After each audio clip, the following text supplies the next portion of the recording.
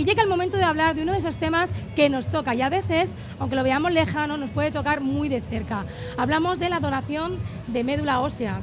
Eh, tenemos con nosotros a dos voluntarias de Albacete eh, con la donación de médula ósea. Concretamente estamos con Paqui García, ¿qué tal? Muy bien, gracias. Y también con Alma Ramírez. Hola, buenos días. Bueno, soy voluntarias. Estábamos aquí hablando un poquito antes de comenzar que justamente estamos en una época en que la gente no tiene información y por lo tanto no tiene claro qué es ser donante de médula ósea. No sé, Pues vamos a eh, aclararlo para, para comenzar la entrevista. Sí, eh, la mayoría de la gente tiene la, la idea que una donación de médula ósea va a implicar que le pinchan en la columna, cuando esto no es así. En la mayoría de casos simplemente es eh, un- una donación parecida a la extracción de plaquetas, por ejemplo, o plasma, que te conectan a una máquina que es eh, la que filtra las células que necesita y el resto eh, siguen en tu cuerpo. Eh, eso no supone peligro ninguno para la, la persona donante y eh, tienes la, la oportunidad de hacer un beneficio muy, muy grande a personas que están, pues, tienen en peligro su vida. Sí, pero hablábamos de que, por ejemplo, ser donante no es que ya directamente has donado la médula ósea, ¿no? No. Eh, para hacerte donante de médula ósea, eh, a ti lo que hacen es eh, hacerte una analítica y con eso miran tu genética para ver si eres compatible con algún enfermo. Eso no es donar médula ósea, eso es hacerte donante de médula. Si te llaman en un futuro, que es muy difícil porque lo que, como lo que comentábamos antes, que en España, por ejemplo, de 40.000 donantes, solo uno donará. Si te llaman, entonces ya empiezas a hacerte una serie de pruebas médicas para ver, saber que estás bien, para saber la compatibilidad que tienes con ese enfermo y ya todo el proceso sigue para adelante. Hablabas de que a más números, mayor porcentaje, pero que, por ejemplo, en España hay un porcentaje muy bajo de donantes que puedan ser compatibles en comparación a la gente que sufre leucemia. Sí, en España solo el 0,3% de la población es donante de médula ósea y en España a la vez eh, se diagnostican 5.000 casos de, leucemias al año, 7.000 de linfomas y otras muchas enfermedades relacionadas con la, sangre que van a derivar en una donación de médula ósea. Cuanto más números de donantes, más posibilidades para esas personas de encontrar su, compatibilidad. Además, me gustaría recalcar que la mitad de, de todas esas todas esos diagnósticos de, de leucemia son niños. Entonces, una cosa que es tan sencilla y tan fácil, no hay, no hay que tener miedo ni desconocimiento. Porque hay una cosa que a lo mejor la mitad de la gente no lo sabe y es que la médula esa, ósea se puede donar, pero se regenera. Además, en nosotros mismos, yo dono una médula ósea, mi médula ósea, pero la mía se me regenera y a la vez con esa hay posibilidad de ayudar a un enfermo, ¿verdad? Exactamente, se te regenera 100%. No hay ningún tipo de peligro. O sea, es una cosa que, mm, que además, de hecho, por eso te hacen pruebas médicas para saber que tú también estás bien. Durante la donación por aféresis, que es eh, cuando te sacan sangre de un brazo, lo que explicaba antes Alma, eh, filtran la sangre y te la vuelven a poner en el otro brazo, a ti continuamente te están eh, inyectando, mm, vamos a ver, como sueros para que, para que tú no pierdas absolutamente nada. De hecho, bueno, la médula se te regenera sola, sin necesidad de ningún tipo de medicamento. Existe libertad absoluta para una vez que te has hecho donante de médula, cuando te llaman y llega el momento por lo que sea, porque eres compatible y te echas para atrás, decir que no. Existe esa posibilidad, pero eh, es un compromiso, ¿vale?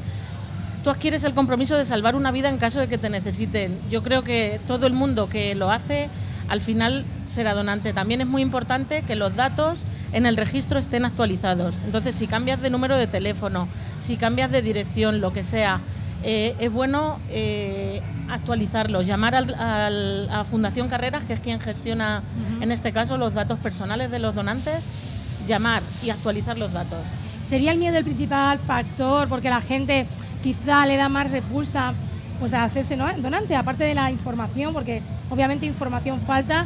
Vosotras me comentabais que, que vosotros no tenéis ningún tipo de ayuda, o sea que sois una página web aquí en Albacete que todo lo yo lo coméis vosotras, ¿no? Sí, nosotras desde nuestra experiencia, desde la información que, que nosotras tenemos eh, a través de la Fundación Carreras y eh, al hecho de hacernos donantes, pues hemos visto eso, que entre nuestro entorno existía ese miedo. Y eh, empezando por nuestro entorno y queriéndolo extender más, pues por eso estamos aquí. O sea, que se haya miedo más o menos el primer factor. Bueno, hay un caso muy llamativo en redes sociales, redes sociales porque ahora es la herramienta quizás que más se utiliza. Es el caso viral de Pablo Raez, el malagueño que ha conmovido a millones de españoles y de, bueno, de, que ha generado que mucha gente se haga donante de médula ósea. ¿Vosotras seguís de cerca estos casos? Sí, nosotras en nuestra página de Facebook de Albacete con la donación de médula ósea compartimos su caso, pero compartimos el de otros muchos más que no son tan conocidos. Lo bueno de que, de que el caso de Pablo sea tan conocido es que llega la información correcta a muchas más personas. De hecho, ha conseguido que muchas más personas se hagan donantes de médula ósea. ¿Cuántos voluntarios es aquí en Albacete? Bueno, aquí en Albacete somos cuatro. Cuatro. Sí. ¿No tenéis una sede ni nada? No, no, no tenemos sede, simplemente a través de Facebook y a través de nuestro correo electrónico pueden contactar con nosotros y a través de ahí podemos eh, ayudarles en la medida de lo posible. Y estáis siempre cooperando con los médicos del SESCAM, digamos, ¿no? Mm, más bien al revés.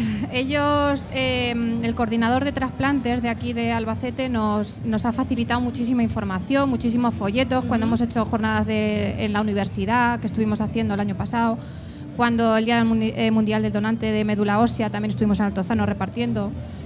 Más bien nos ayudan ellos a nosotros, a nosotras. Pero nosotras estamos disponibles pues para cualquier evento que, necesiten, para ir a cualquier sitio y, contar lo que nosotras eh, modestamente sabemos y podemos. Porque me decís que no sé ni ninguna organización ni ninguna asociación, con lo cual un aporte económico mm, no lo recibís vosotras. En el caso de que, alguien quiera aportar económicamente algo, sería directamente a la Fundación Carreras, que es lo que hablabais, ¿no? Sí, nosotros no recogemos ningún tipo de fondos, simplemente lo que queremos es transmitir información. Entonces, quien quiera quien quiera hacer un aporte económico directamente a Fundación Carreras, que ellos sí que lo hacen, dedican a investigación y a mejorar eh, tratamientos, pero nosotros directamente no. Desde aquí vamos a hacer un llamamiento porque sois cuatro voluntarios aquí en Albacete, pero hacemos un llamamiento pues a imprentas, a cualquier empresa que quiera pues aportaros algo a los eh, digamos voluntarios, porque por ejemplo las mismas camisetas, los folletos, si necesitáis fotocopias, todo os lo hacéis vosotros de vuestro dinero y de vuestro aporte económico. Con lo cual yo creo que desde aquí hacer ese llamamiento porque es un tema muy importante y quizás hasta que no te toca de cerca no llegas a saber lo que es eh, bueno pues vivirlo, ¿verdad? Pues muchísimas gracias a las dos, a Alma, a Paqui, por estar con nosotros. Vamos a dejar también esta página web o este mail para que vosotras también pues tengáis contacto con la gente que nos está viendo y desde aquí se quiera poner en contacto con vosotras, que es albacete con la médula gmail.com, albacete con la médula arroba.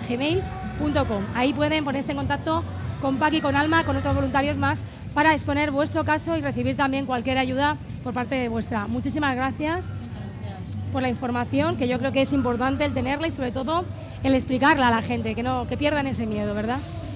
Estamos seguros que quien sepa realmente lo que es una donación de médula ósea se hará donante de médula ósea. Pues muchísimas gracias y muchísima suerte, chicas.